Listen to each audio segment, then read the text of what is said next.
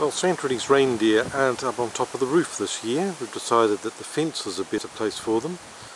And certainly it was a lot easier to put up there.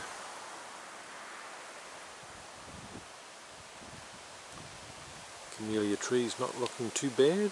We've turned the function off. So it appears to only do two things, either hard on like it is at the moment, or rapid flashing. So we'll have to see if we can get something adjusted there or perhaps try one of the other sets that we've got.